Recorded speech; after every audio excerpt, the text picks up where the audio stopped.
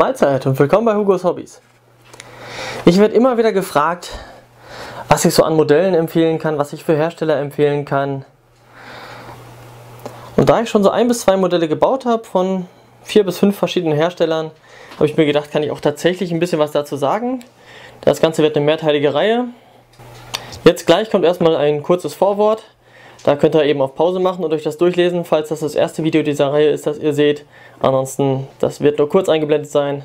Es geht sofort mit dem Video los. Bis gleich. Diesmal haben wir eine bunte Mischung. Und zwar angefangen mit zwei absoluten Urgesteinen des Plastikmodellbaus. Und zwar einmal Airfix und dann Hasegawa, da habe ich direkt mal zwei Modelle mitgebracht. Dann haben wir noch Roden dabei, Attack, Eastern Express und Modell Collect. Beginnen wir also mit Airfix. Airfix ist wohl einer der bekanntesten Hersteller von Plastikspritzguss-Modellbausätzen der Welt. Stammt aus Großbritannien und ist wohl auch, so wie ich das gelesen habe, so ziemlich der erste Hersteller von Plastikmodellbausätzen. Gegründet wurde die Firma bereits 1939 in Großbritannien von einem ungarischen Flüchtling. Und bereits seit Ende der 40er, Anfang der frühen 50er Jahre gab es dann die ersten Modellbausätze von dieser Firma. Ja, und äh, dadurch, dass sie so früh am Markt waren und eine Zeit lang halt auch quasi die einzigen waren, ist das wohl zumindest in Großbritannien im Sprachgebrauch schon ja, so ähnlich wie bei uns in Deutschland mit gib mir mal eben ein Tempotuch. Na, das ist ein Firmenname. Und so ist es da mit äh, Airfix. Airfix ist da schon fast wohl so eine Art Synonym für ein Plastikmodell. Ich persönlich habe schon ziemlich viel über die Firma geschimpft, was aber auch daran liegt, dass ich nur absolute uralt Modellbausätze von denen gemacht habe bisher. Also in 1 zu 72 gibt es glaube ich tatsächlich überhaupt keinen Panzer von denen. Das ist jetzt 1 zu 76. Das ist so bei den Militärfahrzeugen der Standardmaßstab bei Airfix. Also die haben auch 1 zu 35 Modelle, soweit ich weiß. Und Flugzeuge, Schiffe und alles mögliche andere, aber wie gesagt, meine Erfahrung und mein Fokus liegt halt auf 1 zu 72 Militärmodellbau. Und tatsächlich in 1 zu 72 gibt es, glaube ich, nichts von Airfix und schon gar nichts Neueres. Und die 1 zu 76 Bausätze sind größtenteils, also zumindest alle, die ich habe, schon sehr, sehr alt, aus den 60er Jahren und so weiter. Und da mangelt es dann natürlich an Detaillierung, Passgenauigkeit und ähnlichem. Das hier, dieser äh, LVT, Landing Vehicle Tracked, ähm, von den Amis in eigentlich in der britischen Variante mit diesem, äh, das glaube ich eine 20 mm Earlycon Flak, die da als Haupt-MG in, installiert ist. Das ist ein ziemlich gutes Modell gewesen tatsächlich. Die Passgenauigkeit war eigentlich hervorragend. Die Detaillierung finde ich auch in Ordnung, aber da weiß ich jetzt auch nicht genau, wie viel da an Details möglicherweise fehlt. So genau kenne ich mich mit diesem Fahrzeug nicht aus. Der Jeep könnte definitiv besser sein, der sieht recht billig aus. Aber es ist halt ein Jeep dabei, das Preis-Leistungs-Verhältnis ist sowieso ziemlich gut bei Airfix. Einziges Problem oder Hauptproblem bei diesem Modell sind die Ketten, die sind hier im Bereich der Räder gerissen. Das ist ein sehr festes Gummi, diese Ketten. Das lässt sich da nicht so gut um die Rundungen legen und ist dann da gebrochen. Lässt sich so auch ohne, ohne größeren Aufwand nicht wirklich reparieren, ist mir jetzt auch egal. Wie gesagt, so ein, so ein toller Fan, so ein großer Fan von dieser Firma bin ich eigentlich eh nicht.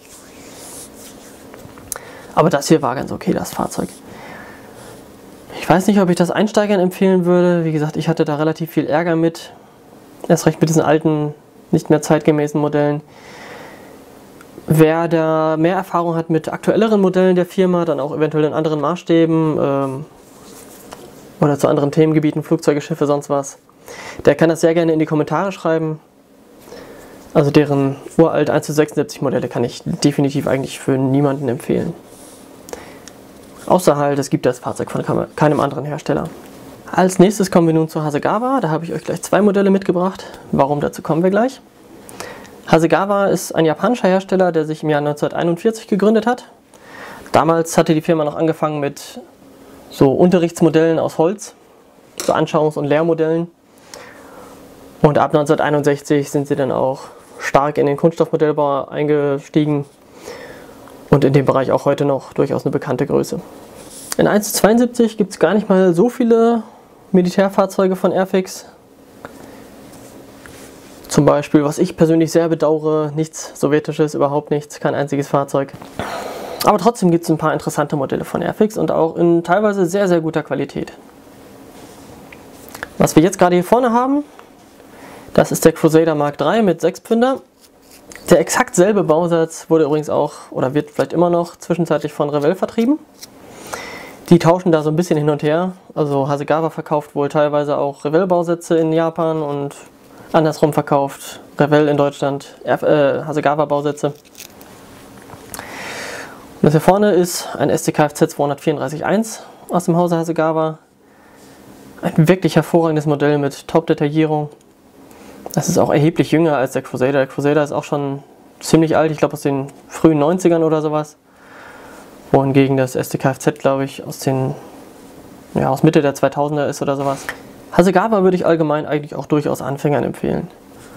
Also der Crusader zum Beispiel, das ist ein sehr detailliertes Modell mit ja, wenigen sehr filigranen Teilen. Hier zum Beispiel dieser Tankschlauch hinten am Zusatztank.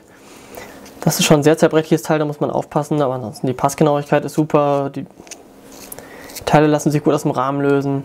Die Anleitung ist klar verständlich, also als Einsteiger kann man durchaus auch jede Menge Hasegawa-Modelle bauen.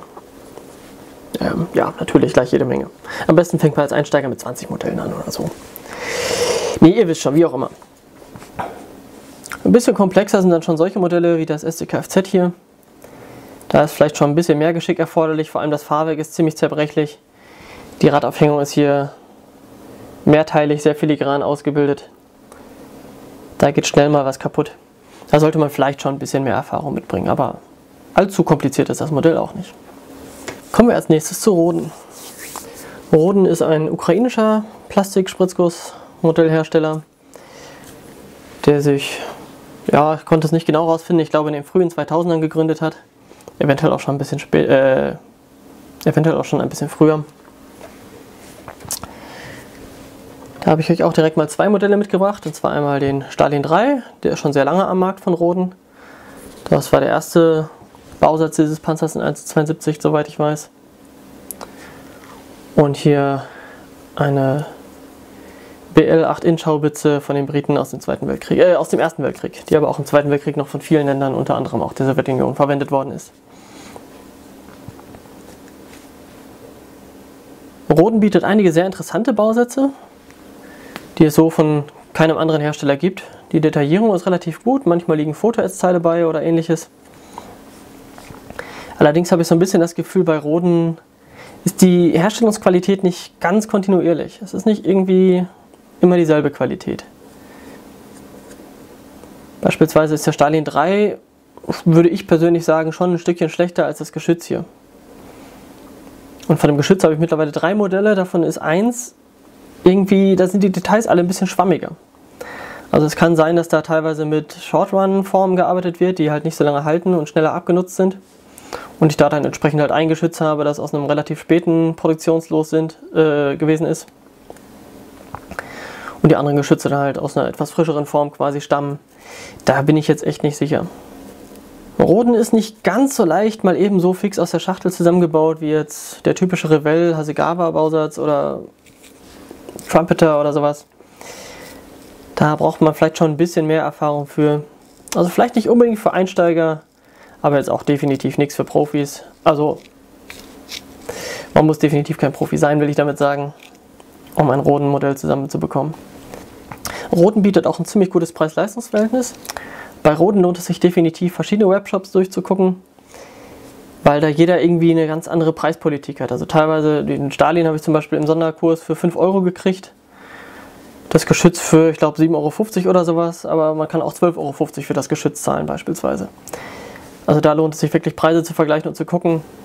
Da gibt es irgendwie, ja, keinen festen Wert, an den sich die Händler halten würden.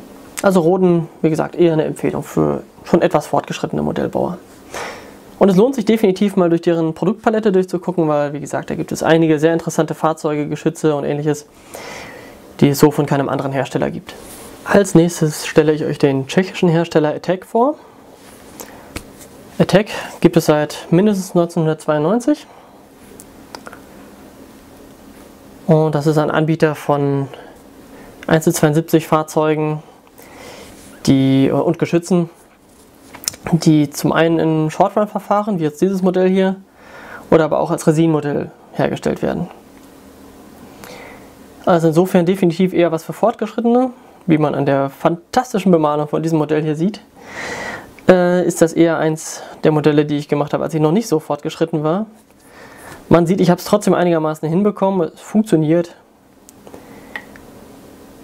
Ich habe es irgendwie zusammengebastelt gekriegt. Relativ schwierig war hier die Kette, die aus Hartplastik besteht und um die Räder gebogen werden muss.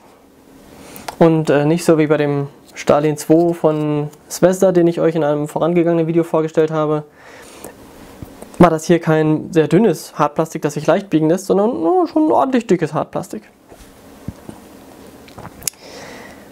Das war also alles andere als Anfänger geeignet, aber mit genug Geduld kriegt man auch das irgendwie hin. Es ist leider auch das einzige Modell, nee, fast das einzige Modell von Attack, das ich habe. Ich habe auch noch einen 38T. weil das meiste von dem, was Attack herstellt, nicht so in mein Beuteschema fällt und weil mir die, ja, die, der Arbe die Arbeit, der Aufwand für diese Modelle, wie gesagt, Short-Run-Verfahren oder Resin, ähm, doch ein bisschen zu viel ist meistens.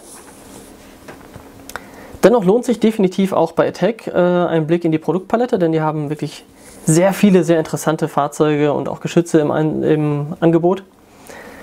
Also das hier das äh, Sturminfanteriegeschütz 33 auf Panzerkampfwagen 3 oder Sturminfanteriegeschütz 33B wird es glaube ich meistens genannt. Ähm, das war glaube ich lange Zeit das einzige Modell in 172 von diesem Fahrzeug, das man kriegen konnte. Da gibt es mittlerweile auch wieder ein paar mehr. Und äh, dieser Staukasten hier hinten, noch dieses Teil hier oder die Stütze für, die, ähm, für das Geschütz, das sind Fotoätzteile, die dem Bausatz beilagen, also insofern bekommt man da auch relativ viel für sein Geld. Dass Fotoätzteile beiliegen ist ja auch keine Selbstverständlichkeit bei den Herstellern. Und wie gesagt, da gibt es äh, faszinierende Fahrzeuge, vor allem tschechische Sachen auch, irgendwelche tschechischen Aerosans, also diese Schlitten mit, mit Propeller hinten dran, die so auf Eisflächen fahren oder auf Schnee oder so. Ähm, abgefahrenes Zeug oder auch verschiedenste LKW und PKW von Tatra und sowas. Also wer die Firma nicht kennt und sich auch ein fortgeschritteneres, also ein Modell für fortgeschrittenere Modellbauer zutraut, der sollte da gerne mal nachgucken, was er da so findet online von Attack. Da sind definitiv ein paar Perlen dabei. Ja, Naomi lässt auch zwischendrin mal grüßen. Hey Mäuschen, na du? Lassen wir uns davon nicht beirren und machen weiter mit. Wen haben wir da jetzt? Military Wheels ist das. Ich verzeihe da meine vernuschelte englische Aussprache. Military Wheels stammen ebenfalls aus der Ukraine und sind mindestens seit den frühen 2000ern aktiv. Das hier ist der Su-122i, das ist eine sowjetische Selbstfahrlafette, 122 mm, auf erbeutetem Sturmgeschütz 3 oder Panzerkampfwagen 3 Fahrgestell. In dem Fall, glaube ich, Panzerkampfwagen 3. Davon wurden nicht viele gebaut und das zeigt auch schon, dass man von Military Wheels, oh Gott, das klingt jedes Mal furchtbar, wenn ich das sage, ich sage jetzt einfach MW im Rest des Videos, ähm, ja, dass man von MW wirklich einige Exoten auch bekommt. Gerade für mich als Sammler der Sowjetarmee bekommt man da sehr interessante sowjetische Militärfahrzeuge, die es ja, so von keinem anderen Hersteller aktuell zu kaufen gibt. Die Produktrange ist nicht allzu groß, zumindest jetzt was 1 Militärfahrzeuge angeht. Ich habe keine Ahnung, ob MW noch irgendwelche andere Modelle produziert. Aber wie gesagt, das, was man kriegt, ist durchaus hochinteressant. Die Modelle sind im Short-Run-Verfahren hergestellt. Hier fehlte zum Beispiel ein kleines bisschen Kunststoff, das kann man noch erkennen, das habe ich sehr schlecht ergänzt davon an der Frontplatte. Das ist nicht so gut geglückt. Ansonsten können die Details allgemein ein bisschen schwammiger sein im Short-Run-Verfahren. Die Passgenauigkeit ist vielleicht nicht so hoch. Ist alles ein bisschen schwieriger, ein bisschen fiddliger oder kurz gesagt auch eher was für fortgeschrittene Modellbauer, nichts für Einsteiger. Erfordert relativ viel Nacharbeit, da ein gutes Modell rauszukriegen. aber jetzt auch nicht übermäßig viele. Also ich habe nicht viele Modelle von denen gebaut. Ich glaube zwei oder drei oder so bis jetzt. Und die sind alle ganz gut geworden. Man muss halt nur ein bisschen mehr Zeit einplanen, vor allem ja allein schon für den Bau. Den Abschluss macht dann Modell Collect. Das ist ein sehr neuer Hersteller, gerade mal 2012 gegründet aus China und jetzt schon über, ich weiß nicht, auf jeden Fall mehrere hundert Bausätze auf den Markt geschmissen. Vor allem in 1.72 aktiv im Militärbereich. Da habe ich jetzt noch kein Modell komplett fertiggestellt. Wer meinen Channel verfolgt, kennt sicherlich den P1000. Das ist äh, das am weitesten fortgeschrittene Modell von Modell Collect, das ich besitze. Auch diese 12.8er Zwillingsflak hier ist für den P1000 als Zusatzbewaffnung gedacht und wird dann irgendwann noch auf diesem Monsterpanzer platziert. Aber weil der P1000 so ein bisschen das Bild sprengt, habe ich jetzt einfach mal hier das unbemalte und noch nicht fertig montierte. Also die Dinger hier sind nur dran gesteckt, die fallen leicht ab. Äh, ja, das ist dieses Modell von der 12.8er Zwillingsflak halt eben. Mal als Anschauungsobjekt genommen für die Firma. Wie gesagt, Modell Collect sind ordentlich durchgestartet. Haben schon hunderte Modelle auf den Markt geschmissen und das innerhalb von wenigen Jahren. Und da sind teilweise extrem interessante Sachen dabei, wie zum Beispiel eben diese 12.8er Zwillingsflak, die jetzt aus dem Geschützset für den P1000 stammt, aus dem zweiten Geschützset. Ähm, Gibt es aber auch einzeln zu kaufen. Und die 12.8er Zwillingsflak gab es vorher nur als Resinmodell meines Wissens nach. Da gab es kein einziges Plastikspritzgussmodell zu einem moderaten Preis und mit wenig Bauaufwand verbunden. Resin ist halt immer teurer und in der Regel auch mehr Arbeit. Das schreckt viele ab, also mich zum Beispiel. Und da ist ein Plastikspritzgussbausatz doch absolut willkommen und der ist auch meines Erachtens nach wirklich hervorragend. Also wer sich jetzt genau mit Details befasst, ich habe da irgendeine Review gelesen, hier diese Fußplatte zum Beispiel zu diesem Sitz da, die passt nicht ganz, die müsste eigentlich anders sein. Und da hat er so Kleinigkeiten, aber ähm, selbst für die, selbst für diejenigen, die ein wirklich perfektes Modell haben wollen, stellt Modell Collect, glaube ich, eine absolut gute Ausgangsbasis dar, um das Modell dann entsprechend ein bisschen umzubauen und dann etwas historisch absolut Korrektes zu haben. Absolut historisch korrekt ist übrigens nicht gerade das richtige Stichwort bei Modell Collect.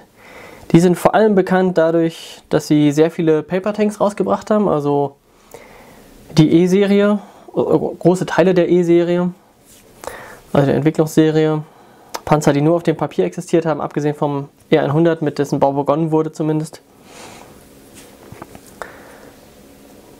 Und dann gibt es da noch sogar irgendwelche Kampfläufer und keine Ahnung was für komische Geschichten. Muss man nicht mögen. Ist aber offensichtlich beliebt genug, dass ja, Modell Collect mit genau diesen Produkten ebenso durchstarten konnte, wie sie es tun. Die Modelle sind zum Teil nicht ganz billig, aber dafür sind halt gerade auch diese ganzen E-Dinger und so weiter, die sind halt wirklich groß auch. Die Detaillierung ist hervorragend. Bei manchen Modellen liegen Metallrohre bei. Fotoätzteile sind nicht selten. Und wenn man das alles mit in Betracht zieht, dann ist das trotzdem auch ein sehr gutes Preis-Leistungs-Verhältnis.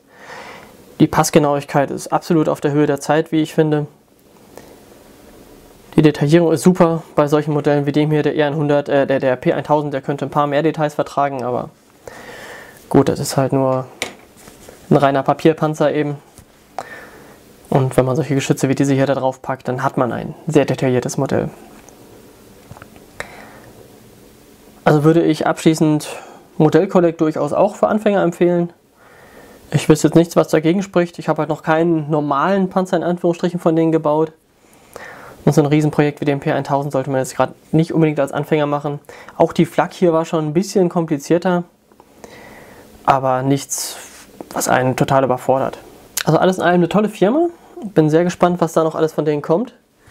Was ich ein bisschen schade finde, ist, dass halt so extrem viel deutsche Paper Tanks und, und Fantasy-Panzer kommen, irgendwelche Kampfläufer und sowas eben, wie schon gesagt.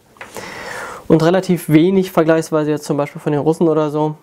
Ich glaube eigentlich gar nichts tatsächlich, was jetzt aus dem Zweiten Weltkrieg stammen würde. Da gibt es auch nur Fantasy-Dinger und ähm, den T-14 Armata, den modernsten sowjetischen, äh, russischen Kampfpanzer. Da war Modell Collect, glaube ich, auch der erste Hersteller, der den am Markt hatte. Also auch für Freunde von modernen Kampffahrzeugen hat Modell Collect viel zu bieten. Und die haben echt eine Output-Rate, die ihresgleichen sucht. Also da, die, die hauen ein Modell nach dem anderen raus. Das ist der Hammer. Gut, das soll es dann auch von diesen sechs Herstellern gewesen sein. Und im nächsten Video dieser Reihe schauen wir uns sogar direkt acht Hersteller an, sind dann allerdings auch fürs erste durch mit dieser Reihe. Also, ich bedanke mich bei euch fürs Zuschauen, passt auf euch auf Leute und bis zum nächsten Video. Ciao, ciao.